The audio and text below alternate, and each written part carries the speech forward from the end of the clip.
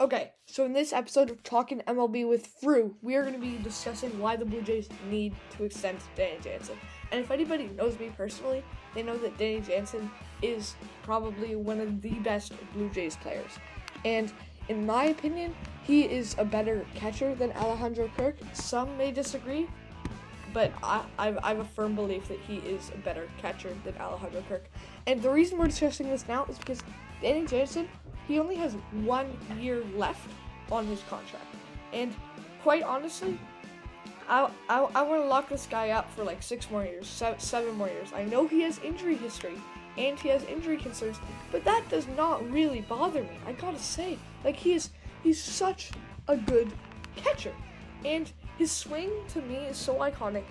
He always manages to perform in the clutch. Like I believe in the ninth, eighth, and ninth inning, he's hitting something like his OPS is like over a thousand consistently.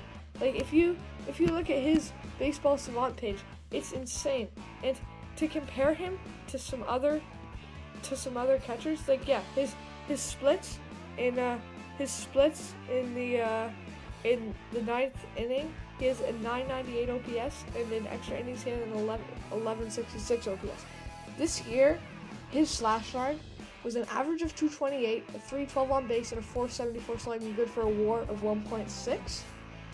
And Danny Jansen, this also meant that he had a uh, 17 home runs, 53 RBIs, and a 786 OPS plus, or 786 OPS, 115 OPS plus.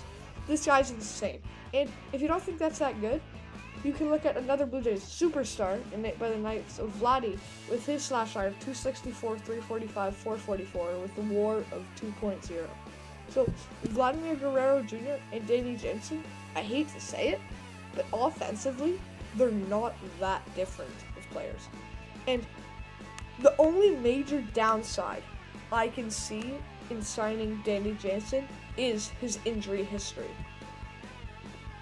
The one major downside of having Danny Jansen is that he only played 86 games. And if you if you're gonna give this guy a contract that so many other teams have given their star catchers, you kind of want to see some more health. He only had 268 at bats, and it's not like this was just a bad season. Um, in in 2022, he only played 72 games. In 2021, he only played 70 games. The potential for power with Jano has always been there, and I and I repeat, it has always been there. He doesn't really strike out a ton. The power's there, and this season, I think he would, if he played a whole 162 games, he would have, he would have either tied or beaten Vladdy for uh, uh, for team lead in home runs.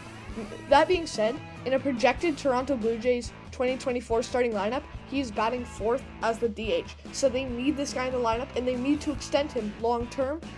And while we do have one of the best catching duos with Kirk and Jansen, I don't think you can ride with just Alejandro Kirk. If we still had Gabriel Moreno, I'm I may be more open to it, but we don't. And I think that it's really important that we extend Danny Jansen now because he is just such a good catcher and he's the type of guy you can build a franchise around when he's healthy.